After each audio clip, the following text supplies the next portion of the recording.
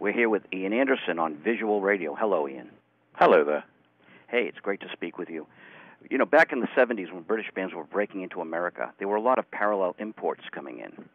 And the Tull albums, Aqualung, Thick as a Brick, they were piled up in the uh, Harvard Square and Central Square, Cambridge, and Discount Records and New England Music City, and they would fly out of the stores. People would be the first in America to have them. It was it was quite a buzz, and and Tull had the buzz in my high school. It was very hip to have gone and seen Jethro Tull. I just wanted to share that with you. Well, that's very nice of you to share that with me. And um, what was hip back when you were in high school is probably, um, I don't know, a curse from the past today. If you're a young man or lady growing up in uh, in North America and you're having to suffer the endless blue comfort blanket of classic rock that makes your parents happy and sleep well at night, it could be a curse today, couldn't it? Who knows?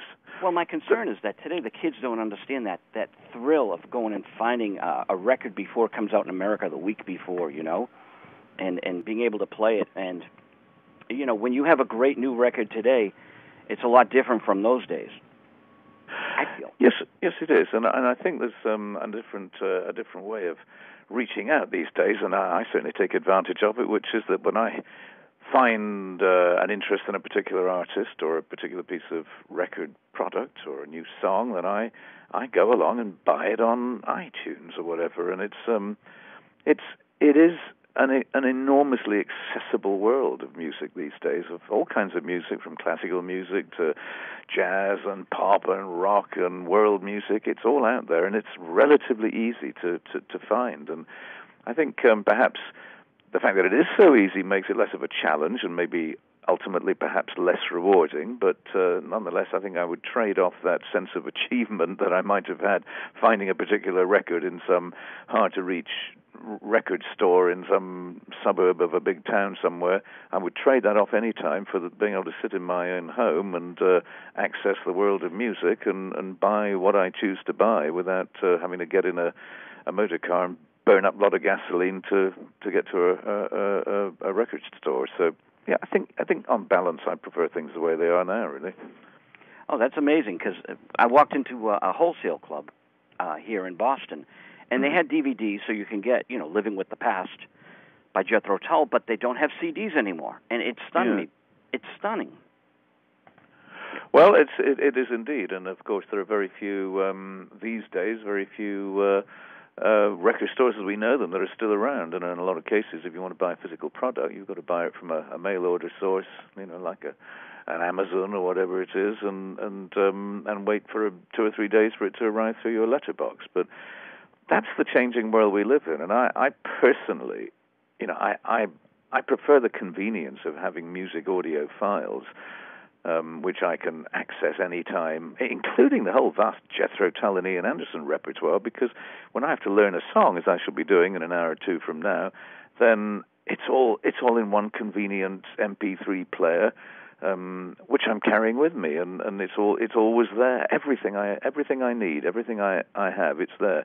And CDs, while some people rather like to have them um, on their living room shelves, to me they're a bit of a clutter, and I can't really profess a lot of warmth and attraction to the idea of a, a CD with its rather minuscule little artwork you can hardly read, and and um, but nor nor would I want to have to own vinyl albums and um, and endure the horrible scratchy reality of of uh, nastily compressed and limited audio with inner groove distortion and uh, all the problems associated with cutting a vinyl master, which uh, I remember so well from years gone by, was always a really quite a you know quite a, an upsetting and disappointing experience. So yeah, I'm I'm I'm I'm your MP3 guy. I, I'm a, an old man, but I live in the modern age, and I I utilize all the convenience of digital technology whenever it suits me. I And like then my I'm uh, and then I'm foul mouthed about it when it doesn't work. but there you go. I like my special collector's edition of Aqualung Live on Fuel. Fuel. All 2000. right, yeah. Uh, is that available on download? Um, well, I'm not sure about a collector's version of it, but you can probably find um, you can probably find most uh, most versions of uh, of Aqualung that have been recorded. I would have thought, um, unless they've been some of those curious little specialist companies who used to uh, do uh, remasters usually with uh, vinyl remasters, which were um, uh, somewhat questionable in in regard to whether they're any better than the originals. But we there were a few of those out in years gone by, and maybe some of those have made it into the digital world. I I don't know. I'm not a collector. I'm a pragmatic music person. I only I only, I only have music that um, I actually really need for a reason, you know, for reference or or something I really want to listen to. But I don't really collect things for the sake of collecting them, whether it's music or musical instruments or guns or cameras or watches or anything that I happen to have a few of. I don't actually think of it as collecting. I always think collecting is a bit of a bit of an obsession, sort of amassing stuff, and I'm I'm not that keen on stuff. I've got I've got plenty of stuff. I've got all the stuff I need really, and uh, I think I actually probably do with a bit less stuff. Maybe I should give it to, to Elton John, and he can have another auction. there you go. Hmm. Uh, Lou Reed is one of my favorite artists, and one thing about Lou is he's a great essayist, and he doesn't do enough of it for me. Uh, when you read an essay from Lou Reed, he really drives the point home. Ian Anderson is a great speaker, and I would I'd love to hear you on a speaker's tour. Do you have any lecture circuit uh, ideas for the future? Not really. It's something that's sort of come up, I guess. It's been you know mentioned as a a thing to do. But I, I think my my interests are probably probably more in combining elements of music with something else. And I, I indeed did that some years ago with the Rubbing Elbows tours that I did in in the USA, where we, you know, it was part talk show, part uh, special guest, part uh, part regular performance, and and that was kind of mixing it up, but as a nightly performance, it was very grueling because of the special guests and the fact we worked with uh, people from local radio and uh, who needed their hands holding sometimes in front of a live audience. So it was actually quite daunting. It was a very demanding, um, you know, afternoon sound check and rehearsal with guests, and and then a you know more than two hour show. So it was. Um, at the end of two two of those tours, I, I think I was um, probably more exhausted than I have been, you know, doing uh, doing outdoor Jethro Tull shows in the middle of summer in Greece or somewhere, which are exhausting for different reasons. You brought up uh, collecting. With YouTube now, people uh, can find almost anything just up on YouTube. What do you think of Jethro Tull and Ian Anderson music that's up on the YouTube? Well, I can't really comment on that because I don't really have a particular reason to go and look at it or listen to it. But what I do find is that um, what is very useful to me is um, is the fact that if I'm, you know, particularly with other artists, or if I'm looking at someone, you know, perhaps with a view to a, a guest or a guest artist or band or whatever it might be, then it is useful to get an idea of how they play live and how they, they work live, and and so, I mean, when we had a special guest a year or so ago, uh, Anoushka Shankar, the daughter of Ravi Shankar, played on a tour in India with us as our guest, and it was a way of getting a little bit to know her playing and the way just her body language on stage and get a feel for how she performed and and so it was very useful to be able to find some even pretty grisly quality um, examples of her performing on YouTube so I, I found it quite useful to do. Ian, who came up with the concept for the 2000, um, 2002 was it Living with the Past DVD? Well, it wasn't so much a concept. It was just really the beginning of a period of time, I suppose, when DVDs were beginning to become a meaningful part of uh, of entertainment. I mean, it, it wasn't uh, quite at the beginning of the DVD revolution, but to begin with, there were players and not very much to play on them, and so people were clamoring for uh, for um, music DVDs, and uh, uh, I guess movies were not apart from old movies, were not being released on DVD in, until you know until years rather than months had gone by, or weeks as it is now. So uh, music DVDs had a run, uh, albeit quite a short one, of a couple of years of, of doing rather well, and um, and so we released a music DVD of uh, of a live concert, which was kind of revisiting some of that, that that that older repertoire in a live concert we recorded.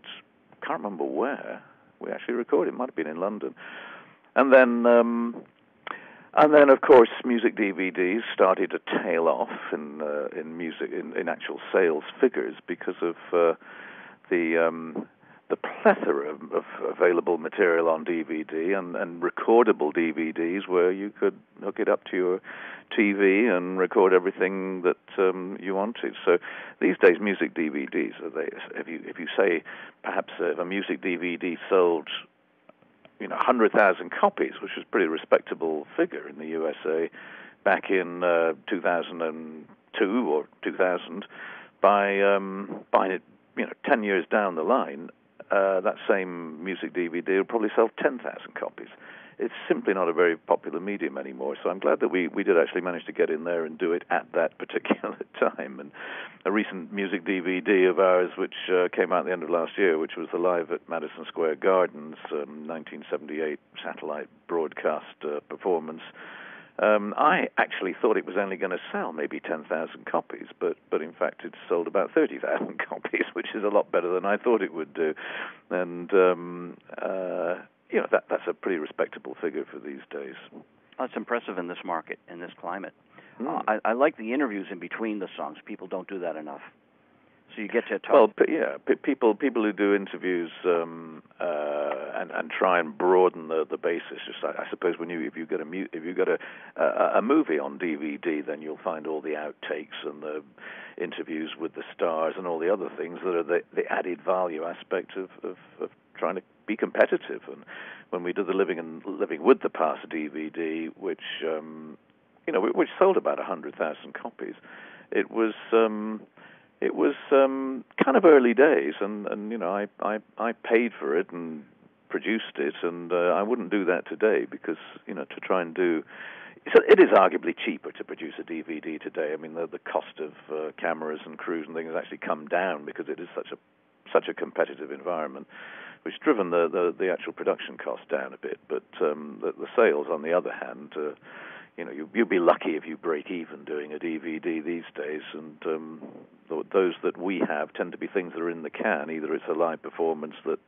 perhaps has been uh, for television, or and, and so it's kind of ready-made. The DVD comes with the with the package, so to speak.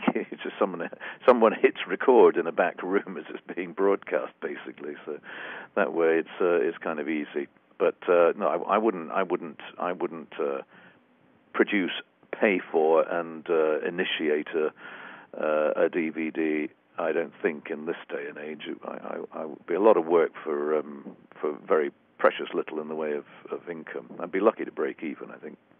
I'm looking at Pollstar right now in the in the upcoming tour, and it's got you um, in Greece, Israel, Ontario, Norway, and America. It's quite a uh, spread. Yeah, well, it it is, and and we head off. Um, now we just come back from uh, touring in uh, Scandinavia and Germany and Italy, and we're we're um, uh, USA next for the month of June, and then July we're back in Europe playing a whole bunch of places from from uh, again up to Norway and uh, and down as, as as you rightly point out as far as uh, as far as Greece and uh, various points in between. And um, later on, of course, we go and yet again to uh, Israel, where I, I, I am strangely drawn to Israel with all of its complexities and difficult issues and and and the feelings I think that you have when you visit there and perform in concert. There's an awful lot of uh, soul searching and uh, scratching of uh, of heads that goes on as to whether or not we really should be there doing what we do, but. Um, I've always tried to keep politics and personal beliefs away from uh, away from the the idea of performing music to people because that is the one thing I can always feel reassured about is that you get people together in a in a room or in a space, and in this case, it's an ancient amphitheater on the shore of the Mediterranean, and it it, it is, you know, you, you suspend for a while all of those issues, and you bring people together in a way which is um, is uniting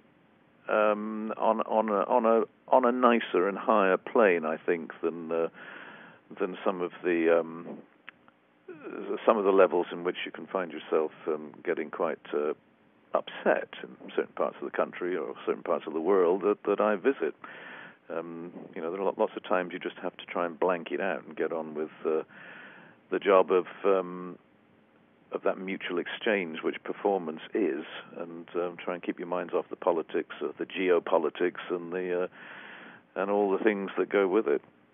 And two questions on that: uh, Are the audiences, say in Israel, Germany, Greece, do they pick up on different albums than say we in America?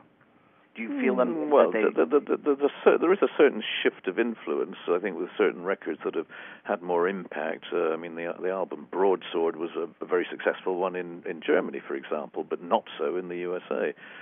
Um, but there are albums that are pretty universal, like Aqualung and. Uh, I guess Stand Up's pretty well known, uh, although in retrospect people probably bought that after they bought Aqualung and Thick as a Brick and others.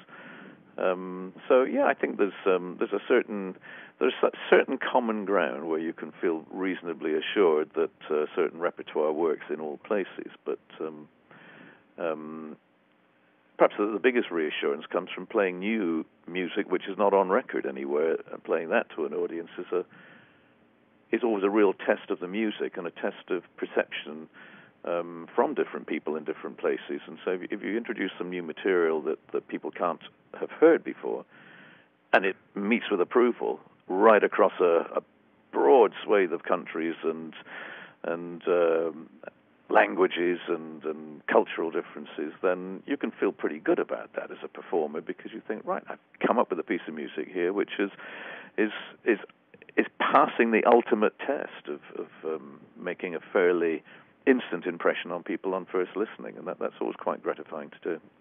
So I would imagine you have the newer material that hasn't been recorded yet um, in all the concerts. Do you shift the concerts from one country to another? Do you shift the set list? We uh, certainly do uh, move things around a little bit uh, as we go along, and it, it, will also depend on perhaps where where we last played. Um, or when we last played in a, in a particular city, um, you know, we go back and look at the set list, and we find there are too many things that are, um, you know, the same from a previous occasion. Then we we would we would try to change that so that we, you know, we try to make you know successive shows between 50 and 80 percent different to the last time we played there. But sooner or later you get caught out because of course we don't just play the same things in the same the same places in the same rotation right. every two or three or four years or whatever it might be. So you, you know you do have to be a little bit um, uh, you know taking that little bit of care to make sure that you're not repeating yourself. But um, luckily of course these days with laptop computers and so on we can carry all that information all that data travels with us. So we can always look up look up set list to see what we played you know, 10 years ago in your town and uh, try and make sure that we do something different. I would love to see selections from different concerts all around the world. Do you have enough footage that say the camera's running every night are just different nights? No, we we we don't we don't do uh, video recording of our concerts at all. Um, we leave that up to half the audience with their horrible little cell phones. Um, I, I notice with, with some relief a theatre that I'm playing in the in the fall of this year in the USA on a solo tour that, that the theatre posted on its website a whole list of uh, advisories to audiences which were um, zero tolerance about underage consumption of alcohol, um, uh, forbidden use of cell phones, forbidden use of cameras, forbidden use to, to sit and talk to your neighbor in the theater during the performance, all sorts of things which sounded quite draconian, but I mean, to me, are just perfectly common sense and courtesy. You know, if you're going to watch a, a music concert, then um, if you know if you're at some head banging heavy metal kind of concert, well, I can understand there's a different kind of behavior. But if you're watching music which is should we say, more thinking man's pop or rock music, then it's nice not to irritate your neighbors by using cell phones and flashing cameras or, you know, or talking loudly to, you know, people around you. And they, they seem to me very common sense things that, that most people would, would understand intuitively and, and, and not not have to be warned off doing by a by a theatre's website.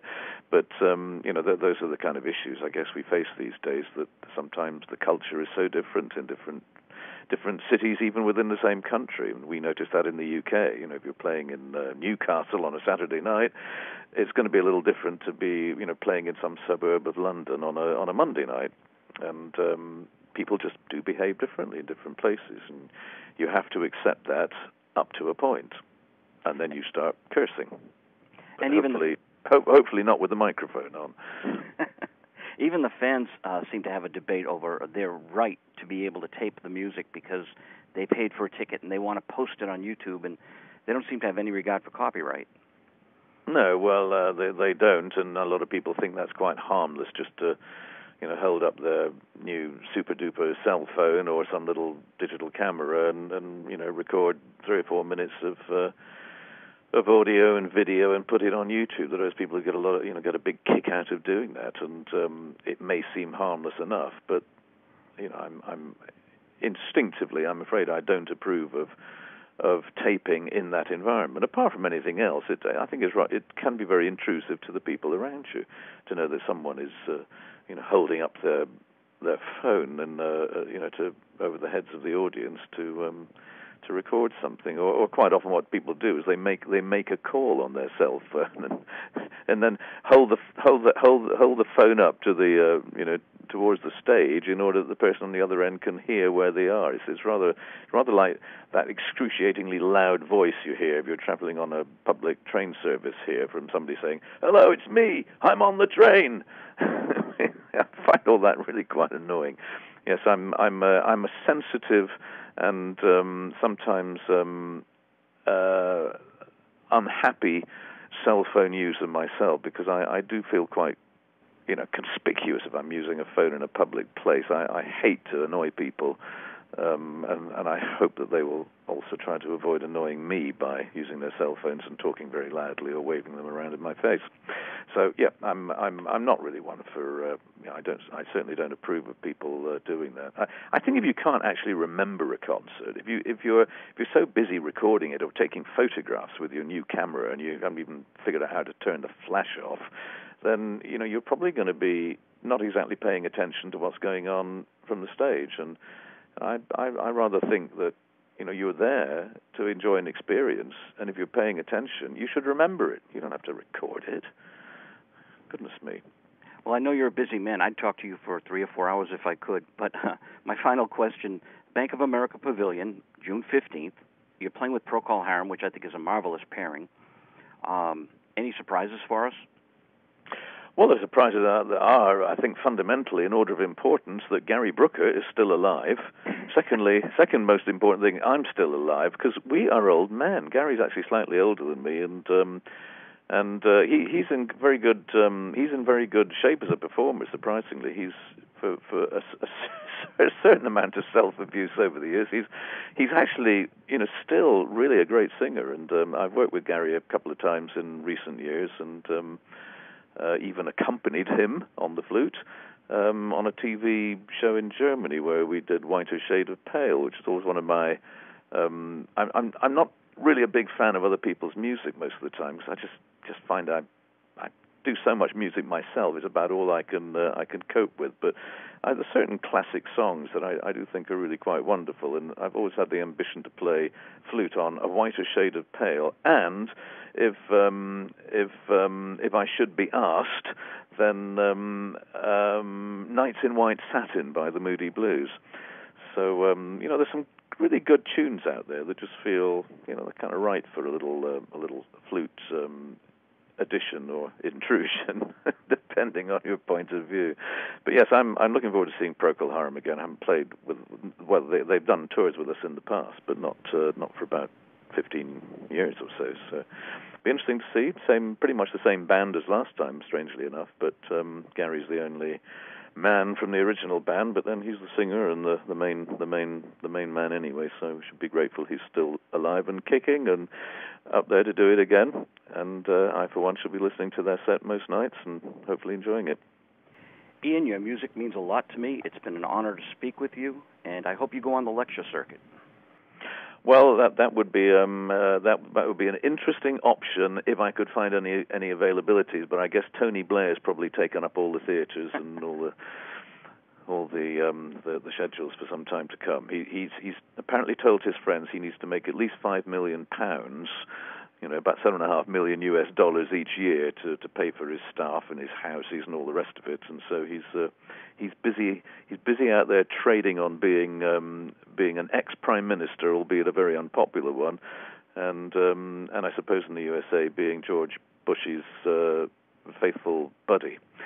Um, but um, yeah, T- Tony Blair is one of those characters. He's not a uh, he's not a bad man, you know, any more than George Bush was a bad man. In fact, I always rather liked George Bush in a funny kind of way. I think he always thought he had a good sense of humor. And um, but Tony Blair is a, an odd guy. So yeah, the lecture circuit it just conjures up someone cashing in, doing something by uh, trying to sound rather grand and important. So I'm, I'm afraid it's unlikely I would do it. I think I'd probably stick to playing music and talking only when when asked on interviews such as this. But very nice to talk to you. Looking forward to being in Boston again and uh, keep my keep my clam chowder warm for me. Yes, sir. Thank you, Ian Anderson. Yes, pleasure. Bye bye now.